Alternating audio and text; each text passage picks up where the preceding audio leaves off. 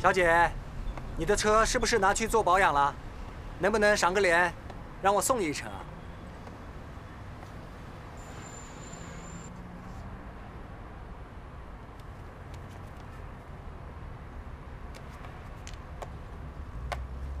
我就知道你不是个小肚鸡肠的女人，不然我是不会喜欢你的。挑来挑去，都没个名分。哎，这点我早就表明态度了啊！这些年你跟我受了不少委屈，我心里是知道的。放心，我一定会兑现我的承诺，给你个名分的。但愿如此。哎，只是你未来的婆婆最近身体不太好，我得把她伺候好了。才能慢慢向她坦白，这一点你应该能够理解啊。好吧，我就再给你一次机会。我就知道你是最好的，来，走吧。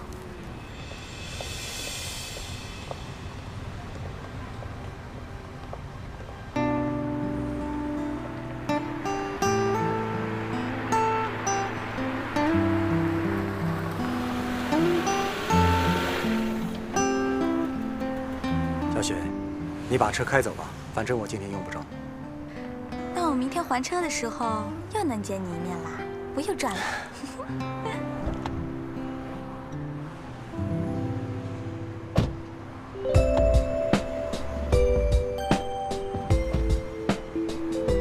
亲我一下，不然我不让你走。这人这么多，算了啊。人多怎么了？亲我一下嘛，快。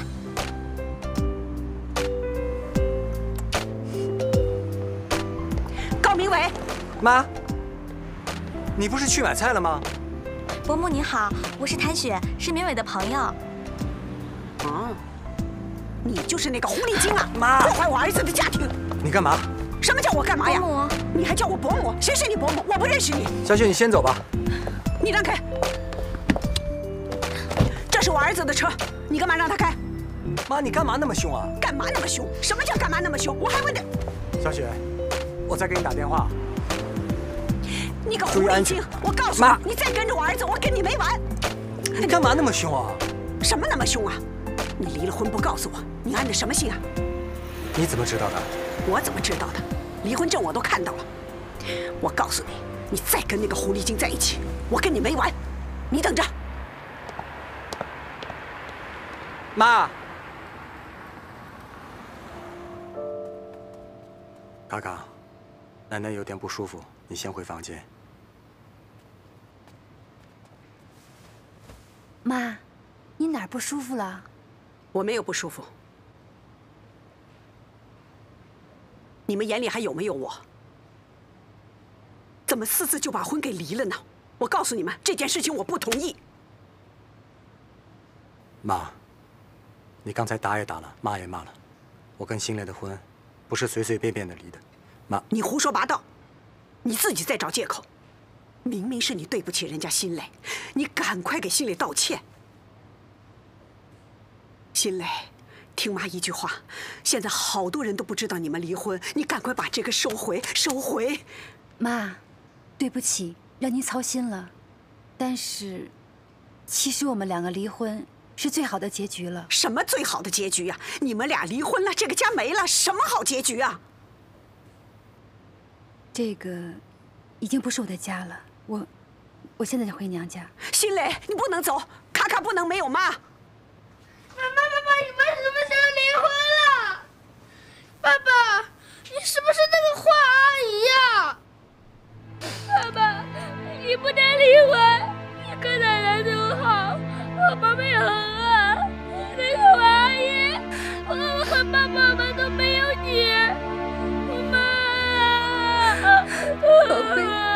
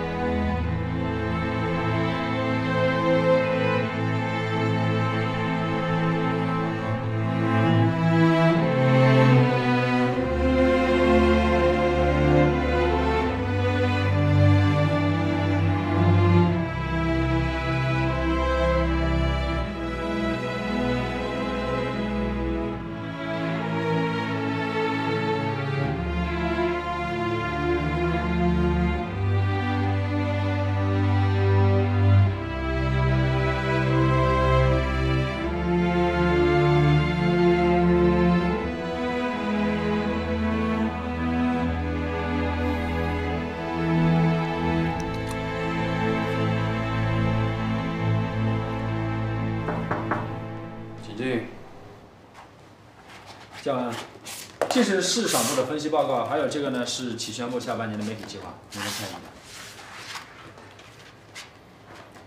由你来帮忙协调，他们效率多了。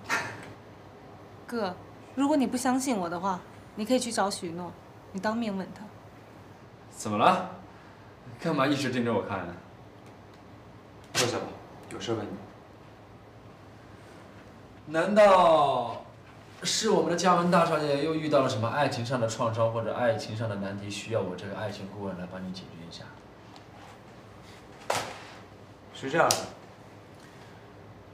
我准备向杨欣然求婚，你有什么建议吗？怎么了？是我这个速度太快了吗？把你都吓成这样，那欣然是不是得吓晕过去？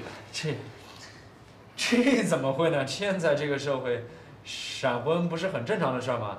就比如我跟嘉玲不也一样吗？那你觉得欣然怎么样啊？适不适合当一辈子的伴侣？这这这这真的不好说。这结婚是两个人的事情，我一个旁人搞不清楚。更何况的话，欣然我只见过两三次，我只知道她她是挺温柔一个女孩子。我可没把你当旁人啊，我挺尊重你的意见的。要不是你的帮助，我估计现在还没和欣然在一块儿呢。啊。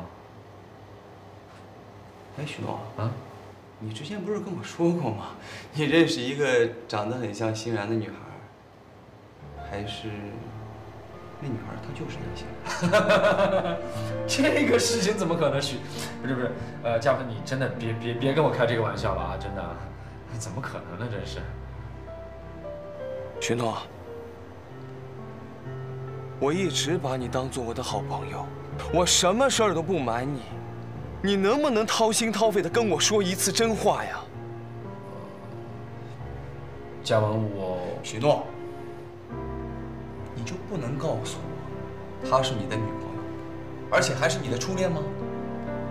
欣然，她好不容易才走出我给她的伤痛，接受了新的爱情，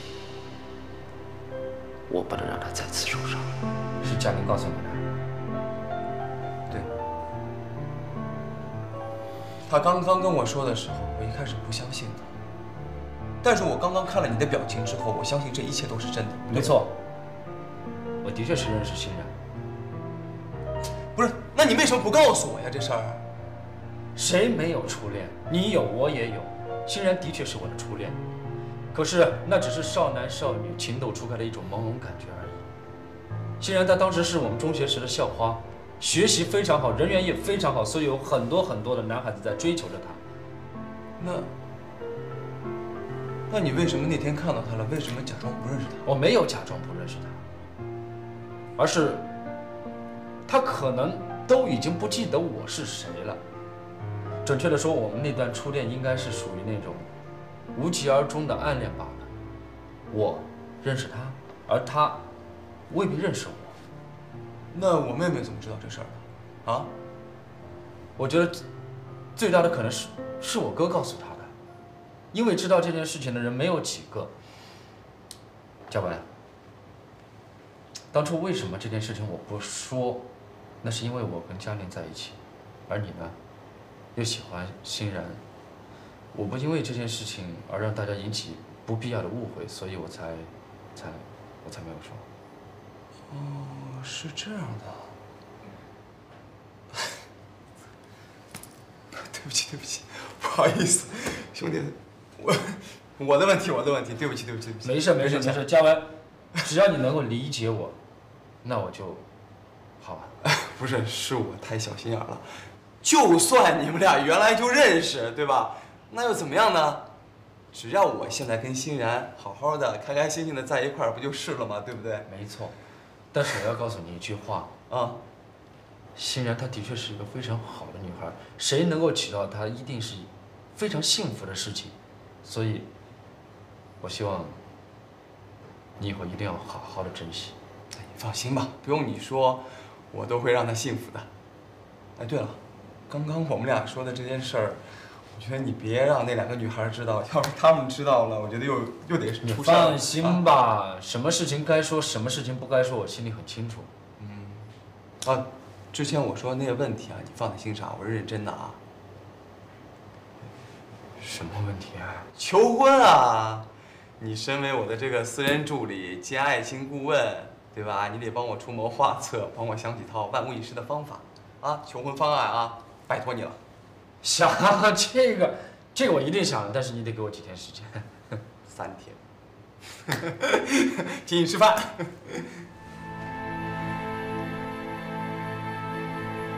心怡啊啊，妈，哎，我早上出来的时候，家里那个绿色的深线盒很好看的那个找不见了，你看到没有啊？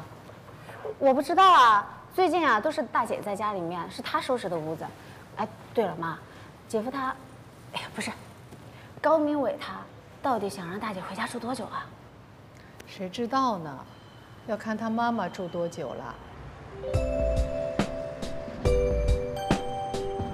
你说这高明伟也真是的啊，既然知道他妈妈知道他离婚这消息扛不住，他偏偏还要闹出这么大摊子事这还要把大姐拉回家给她演戏。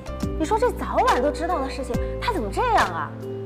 难得他有一片孝心。哎呀，都说啊，有孝心的男人靠得住，可明伟到最终也还是靠不住。这回呀、妈算是看走眼了。亲家母，哎呀，你心雨，你怎么来啦？哎，哎呦呦，还买那么多东西，里边坐吧，到里边坐。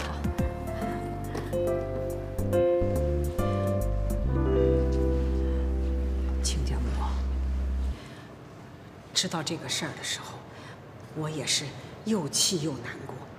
你说心里这么好的媳妇儿，这打着灯笼都找不着的，这明伟他怎么就这么犯糊涂呢？那怎么说说离他就离了？你